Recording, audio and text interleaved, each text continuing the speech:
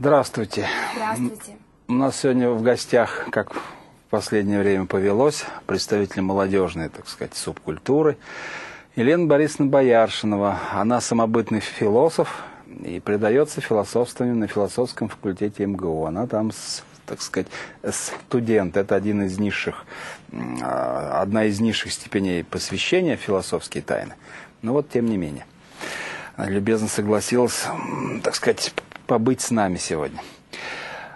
Европа под покровом схоластики. Помните, в прошлый раз мы с вами толковали о том, что философ, такой замечательный ученый, древнегреческий философ, создатель, ну, мы его в тот раз назвали, так сказать, первым профессором, первым, кто писал как профессор, так про него э, было сказано официально. Вот он такой был человек замечательный. А, а, занимался обобщением классификации наук.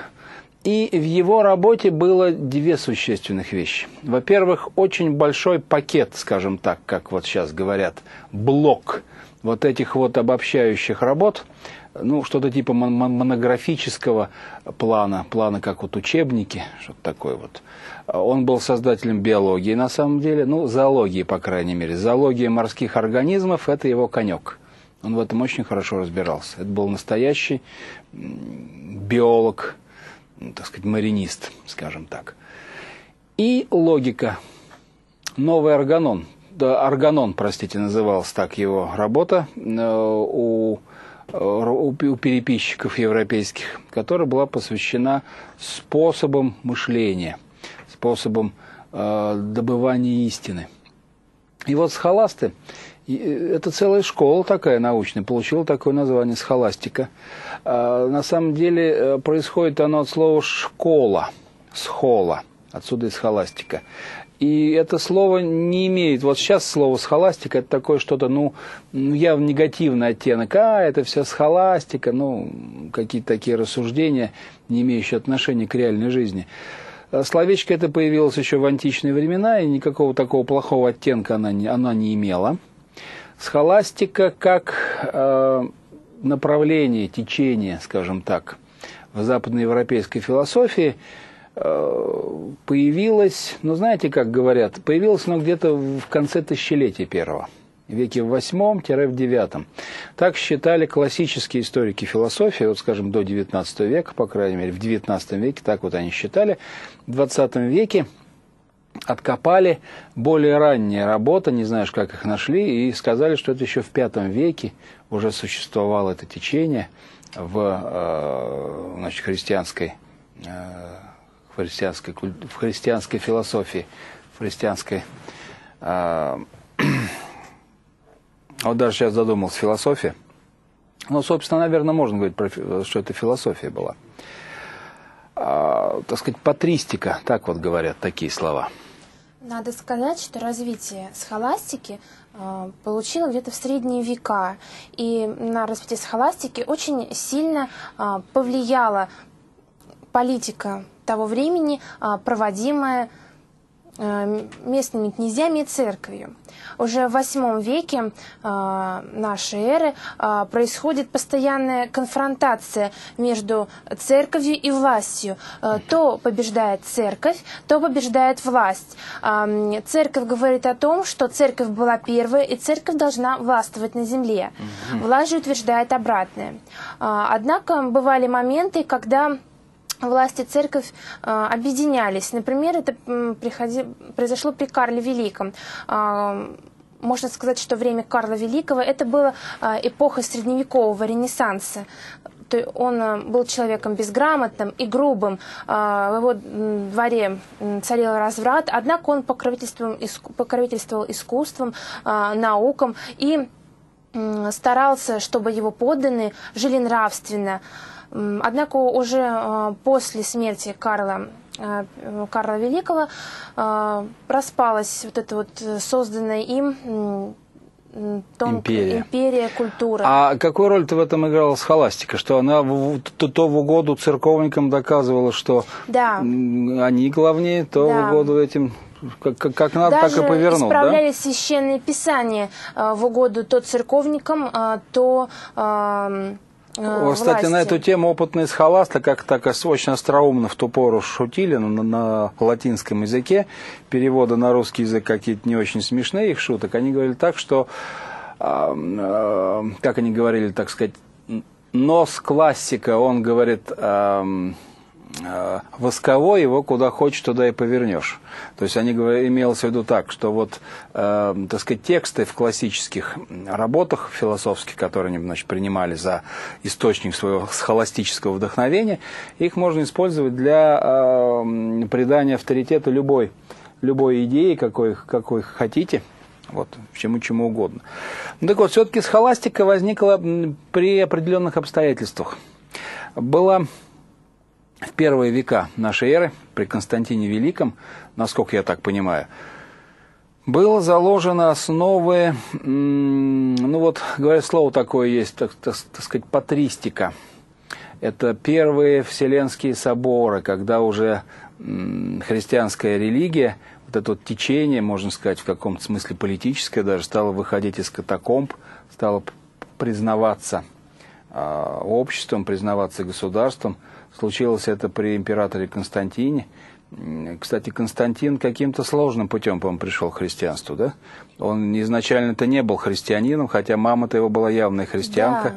царица Елена ее зовут. Вот как раз э, на примере императора Константина существует очень интересная схоластическая легенда. Так. А, Рим – это был основой и центром э, не только схоластики, но и вообще церковной власти. И чтобы оправдать, э, что Рим – это центр, и только церковная власть там имеет право заправлять, собирать налоги, была создана такая легенда, что император Константин был смертельно болен. Э, и чтобы излечиться, он призвал своих жрецов. Жрецы сказали, ты должен принести в жертву трех младенцев и омыться их кровью. Э, Константин, однако, не сделал этого. Э, он внял криком и просьбам матерей, а, и однако во сне ему явился ангел а, и сказал, чтобы он пришел в пещеру. В пещере он встретил старца, во сне ему явились э, святые Петр и Павел, которые сказали, чтобы Константин крестился и ушел из Рима, так как Рим – это град Божий. Константин уходит из Рима и начинает основывать Константинополь. То есть вот таким образом схоласты показывали свою первичность угу. над, над всеми императорами и властью. Ну, кстати, там, по-моему, в легенде говорится так, что он за, за толкованием этого сна, там не было, что это были апостолы Петр и Павел, он обратился он считал, к христианскому священнику, а тот ему объяснил, кто это такие были, и уговорил его креститься. Да? Но это тут в рассказах о первых веках христианства трудно отличить, так сказать, красивую легенду от красивой правды. Вот. Ну, как-то что-то я не помню, чтобы римские жрецы занимались такими вот обрядами, с омыванием кровью, так сказать, этих младенцев. Ну, конечно, все было очень тихо, мирно, цветочки, козочки. Ну, что-то насчет цветочков, козочков я не знаю. Ну, но... жертву приносили, а, конечно... А, человек... цветочек и козочек, да? Человечный там не Да, это как-то нетипично. Хотя могли какие-нибудь особенные колдуны-то и предложить такое, да, сильное средство, да? Нет, могло быть, да, так за пределами. Так вот, ту пору как раз и была, ну, скажем, мне хочется сказать, кодифицирована э, христианская вера, православная вера. Константин был императором Восточной Римской империи. Э, и на своей даче, так называется, так место его, загородный дворец в городке Никея он собирал, значит, э, так сказать, Никейский собор, на него были приглашены мученики за веру христианскую, у кого не было конечности, у кого глаз, вот такой вот был народ очень проверенный, скажем так сказать, их убеждения были проверены жизнью. И э, началась там работа над... Э, они все хотели по ну, образцу тогдашней античной традиции все классифицировать. Это очень, кстати, близко к идеям э, э, Аристотеля. Нужно было создать, э, так сказать, символ веры. И вот тогда-то вот почти э, в таком виде, как сейчас он произносится в церквях и в православных, и в католических, был создан символ веры. Там были какие-то удивительные находки, кстати говоря, вот их, их отстояли тогдашние участники Вселенских соборов. Находка была такая поразительная, удивительная, вызвавшая много скандалов. В тогдашней христианской среде от падения церквей, там отдельных ее фрагментов, вот армянская церковь тогда вот отделилась от православной из-за этой поправки. Правда, говорят, что они были знакомы сейчас с ней в переводе, в плохом переводе с греческого языка и что-то не так поняли. Вот, так сейчас объясняют. А там терминология была такая. Вот фраза сама по себе удивительная очень, она меня э, очень потрясает всегда. Когда говорится, значит, перечисляется во что, так сказать, верую, верую в Сына Божьего, да, сотворенного, а, рожденно, несотворенно, несотворенно да, единосущно Отцу своему, раньше всех времен рожденно, несотворенно. Вот такие фразы. Во-первых, тут много потрясающих. Вообще, как так, а, а, Сын единосущен Отцу. Это вообще какой-то вот э, что-то интересное. Во-вторых, вот это вот раньше всех времен – кстати говоря, в аристотелевой философии полагается, что мир вечен, он, он, он э, неизбывно всегда вечно существовал. И вот вопрос о творении таким образом Аристотель как бы снимал своей философии, своих представлениях о мире. Но сейчас, если так вот разобраться, вот что значит мир не, не сотворен? Ведь до, скажем, 50-х, 60-х годов это была не только официальная версия атеистов, в принципе говоря, ей ничего не могли противопоставить и материалисты. Э, ну, ничего не могли ей противопоставить ученые физики, по большому счету. Это потом появилась теория о том, что некоторое время тому назад, время только и появилось, где-то 5, 6, 7, по разным данным, некоторые говорят, около 30 миллиардов лет тому назад, вот появилось время и пространство. Раньше этого ничего не было. Вот такие вот разговоры. Ну, кроме вот этого символа веры, о ранних христианских соборах был э, сформирован целый набор правил, которые легли в основу э, ну, практического ежедневного, так сказать, использования вероучения в христианских храмах, как у православных, вот то, что сейчас называется православной восточной христианской церкви, так и у западной христианской церкви. Так уж повелось, что западная христианская церковь стала более такой, ну, разные отношения были между Восточной Церковью и властью, и между Западной Церковью и властью. Если Восточная Церковь всегда ходила как бы под властью императора, Восточная Церковь провозглашала, вот очень сильно выделяла, что нет власти, кроме как от Бога, и вот власть императора, вот она как раз от Бога. А были такие порядки, что император был главой православной церкви на Востоке, вот такие были порядки.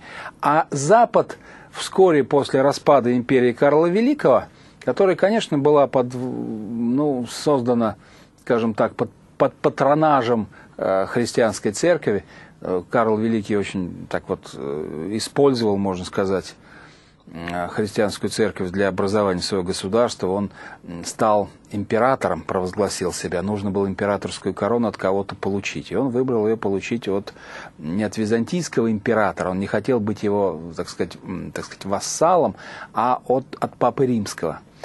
Вот, вот так вот он получил эту, эту себе императорскую корону. И с тех пор, в общем-то, в Европе была э, традиция вот, э, особо такие вот значимые там, монархи корону свою получали из рук э, римского папы, главы э, христианской церкви на Западе. Это как-то вот, э, по-моему, один только Наполеон немножко отредактировал эту традицию в момент коронования, он ведь провозглашен был императором, он не дождался момента, когда Папа Римский надел на его голову корону, императорскую, он взял ее из рук и, и надел себе на голову сам. То есть вот так вот он скорректировал, он получил из рук Папы Римского корону и надел ее на свою голову. Но это были уже совсем другие времена, чем раннее Средневековье. А, вот. Что-то хочет молодежь добавить? Да, мне хотелось бы добавить то, что вот взаимодействие, вот такое коронование э, императоров э, всегда было сопряжено с разными трудностями. Э, то есть э, церковь западная не могла жить без Папы Римского, и монарх не мог быть возведен на престол без коронования.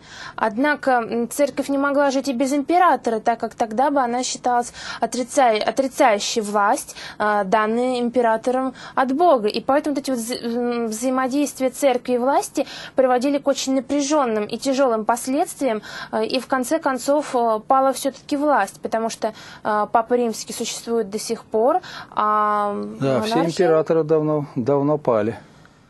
Это, кстати, вот знамя императора Константина. Вот под таким знаменем его легион, он был еще таким римским императором, такого-то римского стиля. Вот его легионы сражались в ту пору. Вот, полюбуйтесь, какой она большой и красивый. Знамя. Такой вот, э, на что на, на, похоже? На, так, так сказать, хоругве, да? Да. Вот по стилю вот этого знамени как раз вот в православной церкви используется, так, так сказать, хоругви. Там, где написана латинская фраза, там сейчас у нас изображение э, лик Христа. Вот такая вот история вышла. И вот у, у западников стало принято не просто кодифицированный вот этот набор данных, их нужно было как-то вот систематизировать, привести в соответствие друг с другом и попытаться что-нибудь из них э, доказать и вывести. И вот на, на этой почве стала работать э, так называемая э, схоластика, вот та самая средневековая христианская философия, которая вовсю использовала э, метод логический, который применялся э, Аристотелем, вот самым таким великим и крупным, наверное, из основателей схоластики, его значение, по-моему, не пропало до наших дней, является Фома Аквинский. Или, как говорят на Западе, так сказать, Тома а, Аквинский. Неотомизм, да, это вот так вот, так сказать, неофомизм, неотомизм. Э, вот вообще говоря, Фома Аквинский был очень нормальным мыслящим человеком. Э, я пытался знакомиться с его с фрагментами его работ. У него работы, конечно, очень большие. У него есть такая работа под названием «Сумма теологии». Вот все-таки в русском языке э, надо читать так, сумма теологии, а не сумма теологий.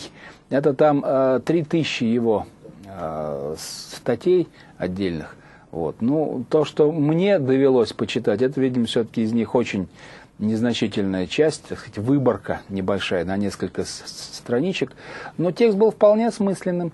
А, то, что до меня было доведено, а, текст был таким очень ну, как сказать, мне не с чем там было особенно спорить. Вот человеку, который э, вырос на марксистской философии, на марксистской диалектике, на диалектическом материализме нечем было там особенно поспорить, по большому счету. Все это выглядело как гениальное угадывание вот э, того, что использовал марксизм. Может, он списал, в общем-то говоря, э, как там называлось, три источника, три составные части марксизма. Да? Классическая философия тоже один из источников. А, наверное, одним из источников классической философии является вот та вот э, схоластика европейская. А, разумные вещи говорились о природе вещей. Ну, что, дескать, есть а, в отличие, да, кстати говоря, с холастикой в свое время была э, течением, можно сказать, революционным философии. Победила она в изнурительной борьбе неоплатонизм, скажем так. Вот неоплатоники считали, что есть актуальное существование всяких обобщающих вещей, родовых признаков. Да?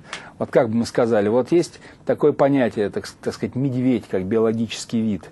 Вот он актуально существует, или это только вот нечто потенциально существующее, не, не существует медведя вообще, а просто вот э, некий в нашем воображении набор признаков, которые характеризуют медведя. Это, между прочим, очень интересный спор – который э, на самом деле, видимо, не должен быть решен ни, ни в пользу кого. Не в пользу тех, кто утверждает, что медведя вообще не существует, ни в пользу тех, кто говорит, что медведь э, все-таки вообще существует. Дело в том, что, вот помните, времена такие были, 50-е годы 20 века, так сказать, генетика так называемая, да, она появилась э, как, так сказать, формальная генетика. Формальная генетика и выглядела, в общем-то, она как схоластика некая. Э, по сути дела, я не знаю, ругали ее как схоластику научную или не ругали, но вполне можно было обругать. Что она говорила? Существует набор признаков генетических, гены – которые передаются. За этими генами никто не видел э, ничего, ничего так, так сказать, так сказать, материального. Примерно как за тем вот медведем вообще ничего материального нет. Стул вообще, обычно философы говорят. Но вот мне стул вообще не, непонятен и не нравится, а вот медведь вообще нравится. Потому что я глубоко убежден, что медведь вообще существует. Это набор генов, который характеризует вот именно медведя вообще. Вот без этого набора, значит, медведя вообще не будет. Вот. У всех медведей есть что-то общее. Как говорит э, теория эволюции, они все значит, произошли от какого-то одного значит, вида, вот это вот разделение видов на медведей, вот они поэтому и родственники. Что-то у них общее есть. Оказывается, вообще у всех ныне живущих существ есть общие фрагменты э, их программа развития, так, так сказать, ДНК, потому что нужно синтезировать общие для всех живущих на Земле животных, живых существ, э, так сказать, белки. И вот эти фрагменты там вообще есть. То есть живое существо вообще тоже в этом плане есть. То есть можно вот в этом плане так вот понимать. Понимаете, любая истина, она дуалистична. Вот эта вот э, мысль как раз вот о а, как бы сказать, дуализме истины, она заложена изначально э, в догматах христианства, да, Бог Отец единосущен Богу Сыну. Да? Это вот вообще всех шокирует не христиан, ну, в смысле тех, кто э, исповедует какую-нибудь монотеистическую религию, но христианином не, не, не является. Да? То есть мусульмане, иудеи. А вот у христиан вот такая вот сумасшедшая бредовая мысль, которая выпадает вроде как за пределы ну, обычного, так, так сказать, миропонимания. Но вот современная наука, э, наука эпохи квантовой механики, с этим вполне спокойно живет. Единосущность одной частицы другой, несмотря на все их различия, вполне может быть в ряде, так сказать, квантово-механических, так сказать, пассажей, этюдов, скажем так, которые нам предлагает, э, так сказать, жизнь.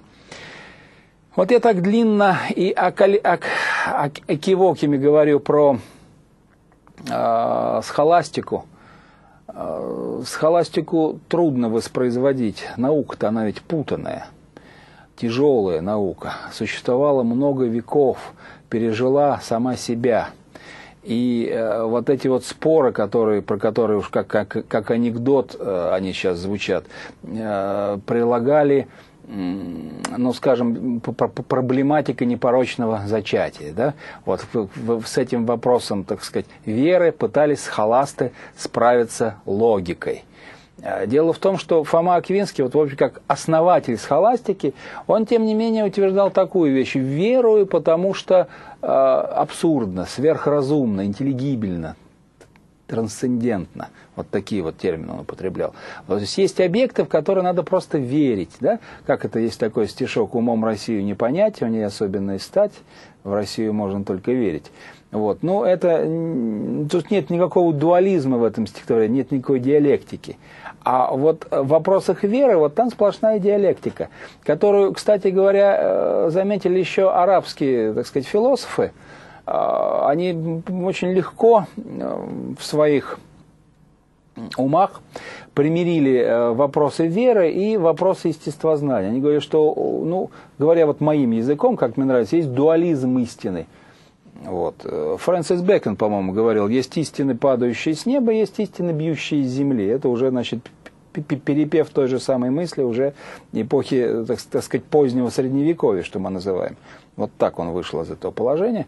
И правильно сделал, между прочим, а, потому что э, на самом деле никогда нельзя истину дознаться до корней истины, дознаться до конца. Вот ошибка с халастов была в том, что они э, уверили себя в том, что логика Аристотеля поможет им узнать истину, познать истину без всякого эксперимента. Ну, я со вздохом сказал про эксперименты. Эксперименты в религиозной сфере это как что-то такое вот непонятное. Говоря про религию, говорят э, про религиозные практики. Такое слово есть. Я тоже не очень понимаю, что значит религиозная практика. Это что, обрядность, что ли, или какие-то вот особенные переживания просветления, которые не сходят на человека. Я не знаю, что это такое. Не знаю, как это правильно значит, э, себе воспринять. Но вот религиозные практики, они, э, ну, практическая жизнь церкви была в те первые века христианства очень насыщенной. Расплодилось ужасное количество э, так называемых ересей. То есть не было единой точки зрения по ряду вопросов. И вот даже, э, так сказать, символ веры, принятый, хочется сказать, кодифицированный на Вселенских соборах, как сейчас сказали, всемирных соборах, хотя так как-то вот не говорят про те вселенские соборы, вот, они же не со всей Вселенной собирали, но и тем более не со всего мира. То есть вот только с той обитаемой части мира, в которой было распространено христианство. То есть фактически со Средиземноморья, Европы, э, части Африки, части Азии, вот с тех вот мест – представители там могли быть на этих вот Вселенских соборах. Так вот, началась масса всяких уклонений.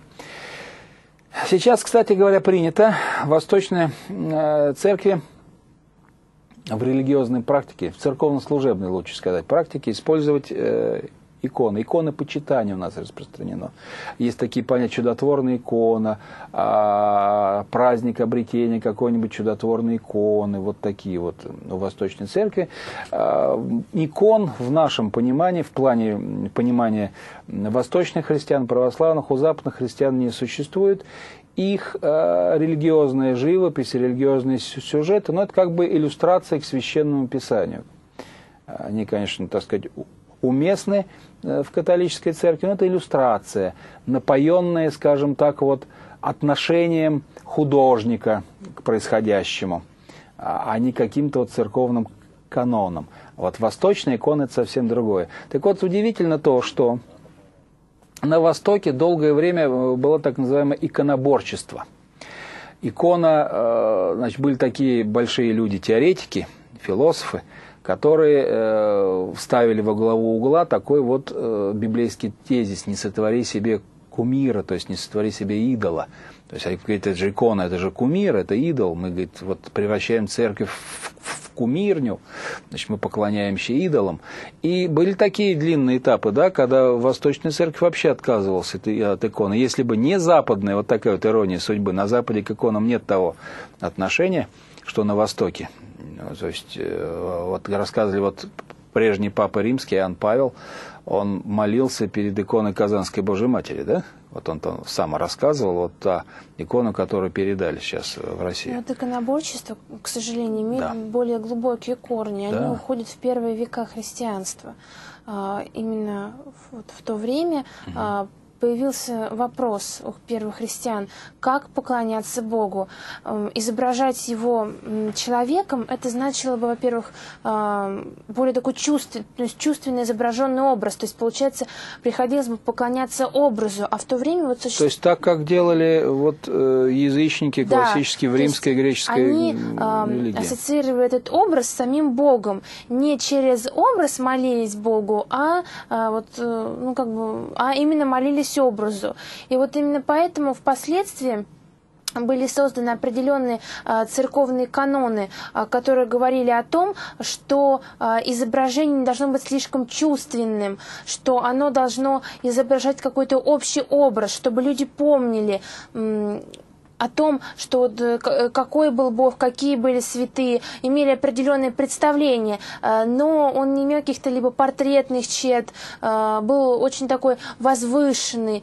Ну и, и впоследствии, в принципе, иконоборчество, оно было очень распространено, к сожалению, и к сожалению. были ну, то, кто поддерживал это иконоборчество и кто его отрицал. Причем э, с иконами делали совершенно жуткие вещи. А, их жгли, рубили топором, топили. Ну, то есть э, совершали по нашим понятиям просто святотатство, как, святотатство и Ну, Да вот вот в тот момент вот э, римский папа Григорий, Григорий Великий, его, Да. по-моему, так называют. Он, кстати, святой в православной церкви и в католической тоже он святой. Это, по-моему, в, э, так сказать, век седьмой, наверное, да, нашей эры. Вот он когда жил. Он положил этому конец, и его точку зрения приняли, приняла и Восточная Церковь. Ну, большую роль в этом сыграл еще Иоанн м, Дам- Дамаскин сыграл. Дамаскин, Иоанн да. Дамаскин. Он жил в Дамаске, и э, у него целый есть труд, э, называемый защиты, в защиту иконопочитания, в котором говорится о том, что иконам необходимо поклоняться. Ну вот тут вот, э, ну, я думаю, что в разговоре об истории философии уместно говорить, что тут вот как раз всплыл некий, опять же, вот дуализм, да. С одной стороны, э, кажется на первый взгляд, что такое иконопочитание с философской точки зрения, да, вот так внешне. А это же то же самое, что поклонение, скажем, какой-нибудь там Венере или Аполлону, который изображается вот в воображении как неш- некое такое человекоподобное, совершенно антропоморфное существо, да.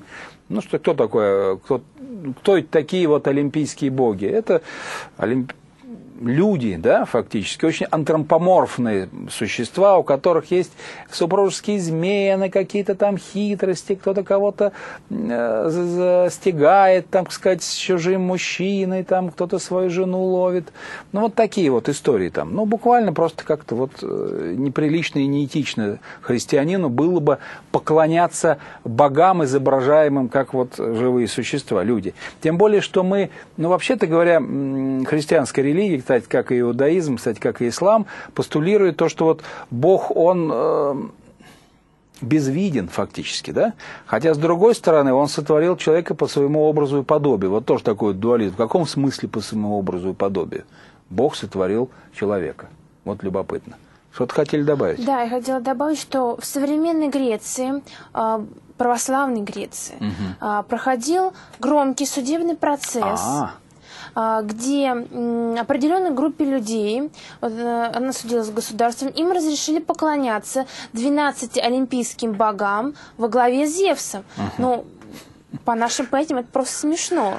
Да. Ну, а вот... Нет, ну мне вот смешно, почему для этого нужен быть громкий судебный процесс. Э, Это что, просто привлечь к себе внимание, наверное, только с этой целью. У нас, по-моему, никто не проводит процессов, чтобы им разрешили поклоняться, так сказать, там, э, Перуну, Дождь Богу. Ну, то есть наши свои российские язычники, если кто к ним только предъявляет претензии, что они это Ну, делают. Греция все-таки православная страна. Ну, Греция это православная И страна. там очень сильно развито право- православие, влияние православия на жизнь людей. Да, но я не знаю, о чем они судились все-таки, что там, чтобы им разрешили. Ну, Может быть, какие-то Я не думаю, что в Греции вот есть государственные государственная религия, которая запрещает все ну, другие нет, ну, может, вероисповедания. государственные дот- дотации, чтобы мы выделяли. А, чтобы им дали денег на Может это дело. быть. А, это ловко, да. Это, чтобы государственная поддержка и вот, вот эта вот религия, да? Это ловко. Но я знаю, еще когда я был маленький, нам объясняли, что в Америке есть м, религиозные такие группы, а, которые, значит, исповедуют древнеегипетские культы. Вот у них вот такие, там, вот так В вот. Америке верят, что Земля плоская. Это вот общество Да. плоской Земли существует. Да, но я думаю, что оно существовало. Нет, Неужели до сих пор до сих существует, да? да. Верят и такое, доказывают, ра- да? доказывают, что Земля плоская, буквально даже с математической точки зрения. Кто видел, что Земля плоская, а космонавты все наврали, это выгодно там тем-то и тем-то. У них очень такие интересные теории, так что советую вам. Ну, то есть они вот прям это вот упорно, Упорно- придерживаются вот упорно этого, да? придерживаются. Ну, это интересно. Это, наверное, упорство достойное лучшего применения. А может, это просто такая рекламная акция? Вот пойди докажи мне, что Земля круглая, действительно. Ну, пойди докажи. Только что по- посылал билет бесплатный в космос нужен, да? Тогда только давать людям, чтобы они облетели Землю вокруг. А как же спутники связи, которые передают наш сигнал, да? Но Земля, она все равно плоская. Ну, плоско, и все тут. Ничего ты мне не докажешь, да? И да, тогда можно чудно. вступить в это общество. Там. Да, я, я видел картинку, они какой-то огромный, грандиозный, так сказать, такой проводят физический эксперимент, какие-то приборы у них там, они устанавливают их вот в своих этих, так сказать, прериях с целью доказать, что Земля плоская. Тоже Ну, определенный видим, вид ви- схоластики. Ну, видим, прямую линию. Ну да, ну такая схоластика, так сказать, эм, с экспериментальным подтверждением, да? Вот. Вот. Но вот э, мы как-то не очень себе чувствуем, что вот, эм, вот в вопросах религии как-то мы к ней сейчас, э, как говорится, к религии терпимы, да, толерантны. И те, те ляпы, которые делала схоластика э, в религиозных вопросах, они нами забыты и прощены. И вообще мы сейчас относимся к религии так вот, э, как ну, хотел сказать, как надо относиться, да, как к нечто сверхразумное, да, так вот обычно все современные верующие люди образованные, вот так к ней относятся, к чему-то такому сверхразумному, вот, необъяснимому с помощью ума, да. Вот ошибка схоластов была, тех схоластов, что занимались сугубо религиозными проблемами, да, проблемами, сколько демонов может уместиться на кончике иглы, там, вот такие вот проблемы – непорочного зачатия и так далее. Э, вот они, собственно говоря, нарушали заветы основателя своей э, концепции Фомы Аквинского. Вот, кстати, он причислен к лику святых Западно-христианской церкви. Он жил в Италии, в Южной Италии. И тут одна из икон, давайте мы покрупнее на нее посмотрим. Вот он сидит в окружении других святых. А вот тут он вообще изображен рядом с Богородицей. Вот Фома Аквинский. Вот тут вот такой вот человек. Ну вот на предыдущей картинке его лучше как-то, тем не менее, можно разглядеть. Там вот говорят, что здесь его есть, так, так сказать, портретные черты, такая крупная голова, немножко приплюснутая сверху. Вообще он очень напоминает э, портреты императора римского Веспансиана и, так сказать, Тита. Вот именно у, у Тита и Веспансиана и других вот, так сказать, Флавиев был такой череп, такая вот, так сказать, обличие, так, так, такая форма головы. Ну, как-то в глубине души я так вот подозреваю, а вдруг он потомок Веспансиана, потомок вот этих вот императоров, один из которых Тита разрушил в свое время э, храм Соломона в Иерусалиме. Ну, его войска разрушили. Леон, Леон Фехтвангер оправдывает Тита. Леон Фехтвангер – это такой известный немецкий писатель еврейского происхождения, у которого есть большой роман «Иудейская война». Как раз по тех событиях. И вот в его писаниях император Тит выглядит как очень просвещенный, такой интеллигентный римлянин. Ну, в результате как-то не совсем правильно понятого его приказа вот был сожжен э, храм Соломона э, значит, в Иерусалиме. Это такое знаковое трагическое событие для всех иудеев. Вот не мог обойти Леон Фихтвангер это событие стороной. Вот такие вот истории с неотомизмом. И э, все это происходило на фоне европейских событий. В Европе жизнь не прекращалась.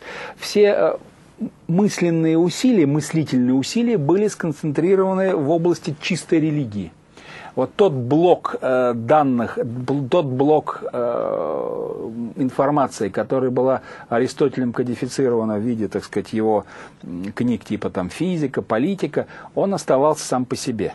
Просто он изучался, э, ну, по мере необходимости, его можно было использовать. Вот, к счастью, вот до меня не дошли сведения о практическом использовании аристотелевой науки вот того периода, периода, вот, я бы сказал так, раннего средневековья, времен Карла Великого, Карла Мартелла, вот таких вот романтических времен. Вот. Э, Карл Мартел, помните, разбивший Мавров при Пуату, при Пуатье. Э, тогдашнее ремесло, европейское, ремесленное искусство, оно достигло на самом деле больших высот. Вот помните, я вам рассказывал в прошлый раз вскользь про битву при Пуату, как я ее называю, на старо-французский манер. Э, сейчас это место называется Пуатье. Вот, кстати, на картинке, если вы любопытствуете, можете посмотреть, э, сказать, храм. Э, этот фасад вот этого храма, который на картинке есть, это где-то уже 12 13 век, а вот противоположная часть, алтарная часть, она построена еще в, в стародавние времена, и существовала, наверное, еще в годы битвы при Пуату. А, и, наверное, вот в том храме молился, так сказать, Богу после битвы а, Карл Мартел, разгромивший, так, так, так сказать, Мавров. Он, конечно, своей победе был обязан не только э, проведению Божьему, но и тому, что европейские мастера к тому времени освоили производство металлических доспехов. Это, собственно говоря, такое вот изобретение металлический э, доспех – явно совершенно у нас ассоциируется с европейским, э, с европейской военной культурой. Вот все, что есть на Востоке, на Дальнем Востоке, там тоже есть своего рода, так сказать, защитное бундирование, да, защитное в смысле от ударов, от копий и стрел. Но вот таких вот систем, так сказать, панциря, там у них нет. У них есть, у нас, вернее, у восточных, из подвижных частей, кольчуги, вот такие вещи. А тут вот они вот изобрели европейцы. И в битве при Пуату впервые употребили значит, в дело, так, так сказать, войско рыцарей. Вот тут на картинке показано, в какую замечательную они были построены, э, так сказать, колонну. Не колонну, а, так сказать, каре. А, фактически это что-то типа как у Александра Македонского, ученика Аристотеля. Да? В центре пехота, полюбуйтесь на картинку. В центре пехота, по бокам кавалерия. И аналогичным же образом была построена и, и армия э, арабская. Арабская армия тоже была по, по аналогичной схеме построена. Вот полюбуйтесь, хочется мне вам очень показать. Э, средняя часть, то, что у македонян была, так, так, так сказать, фалангой, вот, это, э, так сказать, пешие воины, одетые в латы перед ними, стрелки, стрелки находятся перед ними. А, а на флангах, э, так сказать, конница, кавалерия. Вот. И в аналогичном порядке, если присмотреться, построены были и арабы. Единственное их исключение было то, что центральная часть была еще усилена, усилена кавалерийскими отрядами. И у них не было вот того, в общем-то говоря, старозаветного, раскритикованного еще римлянами построения одним так сказать, блоком каким-то, отдельные подразделения. Это позволяло им хорошо маневрировать на местности. А так идея была такая же, тоже впереди цепочка легковооруженных воинов. Да, и вот эта вот прогрессивная значит, вещь. С помощью этого прогресса военного, они, кстати, создали свой арабский халифат. Вот. А вот такое вот построение устарелое, сплоченный строй закованных в металл пехотинцев, закованных в металл рыцарей на конях и, значит, и коней закованных в металл, которые вот они тут по бокам стоят. Вот это значит, кавалерия, конница. Вот они э, позволили э, Карлу Мартеллу победить. Кстати, я сколько не искал, не смог отыскать э, картинки какие-нибудь с, с изображением самой битвы. Вот это вот, собственно говоря, реконструкция. Зато вот в тех же местах была еще одна битва при Пуату, простите, при Пуатье уже. Это была в эпоху Столетней войны. Французы и англичане делили прекрасную Францию между собой. Это вот были те еще времена. Значит, битва при Пуату э, старые времена. До Карла Великого, еще до, так сказать, осознания европейцами себя как европейцев. Вот когда Карл Великий создал свою империю, вот он, Карл Великий, это изображение тех времен, как говорит мой собеседник, при его дворе, оказывается, процветал разврат. Я считал, что Карл Великий это что-то такое вот необыкновенное создание. Вот так его изображал, так сказать, Дюрер уже значит, в поздние времена. Вот. Ну, это, естественно, никакой, никакого портретного сходства здесь быть не может, но вот символ императорской власти. Обратите внимание, а, слово «Карл» очень созвучно со словом со, слов, со словом король у славян, славяне, значит, вот взглянув на этого э, славу европейского Карла Великого, своих королей западнославянских стали называть королями. Вот это слово вот попало в русский, э, в язык оттуда же, да, вот от славян, так сказать, западных людей называли у нас королями. От слова Карл, Кароль, да, король. Вот такие вот дела вышли к большому несчастью для науки, в конце концов, схоласты обратили свой взгляд на естественные науки и э, приложились к ним. Это не тема сегодняшнего разговора. А, по сути дела, э, конфликт этот, вот этот вот сам факт приложения схоластов к естественным наукам, он возник только тогда, когда появились люди, резко против этого противостававшие, до такой степени, что их отправляли на костер, заставляли отрекаться от своих убеждений. Это вот Галилео Галилей, Джордана Бруно. Джордана Бруно сожгли на площади цветов в Риме. А Галилео Галилею пришлось каяться и отказываться от своих, своих э, неправильных убеждений о том, что Земля вращается, движется вокруг Солнца.